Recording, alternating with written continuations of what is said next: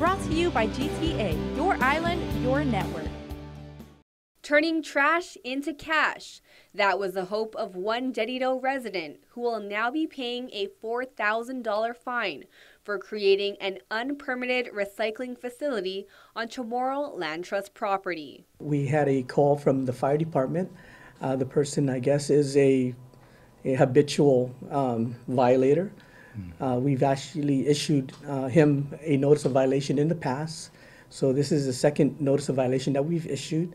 We've also uh, reached out to Chamorro Land Trust to see what type of assistance they can provide for their recipient. According to Guam EPA Acting Solid Waste Administrator Glenn San Nicolas, the resident was issued a notice of violation on October 19.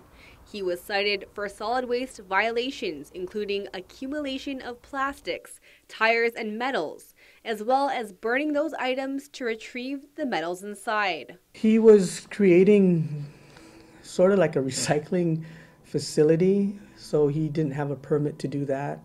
And uh, his practice in processing uh, was not acceptable because he was burning, uh, you know, metals. Uh, he was burning fiberglass uh, and other tires to retrieve metals from those materials to recycle.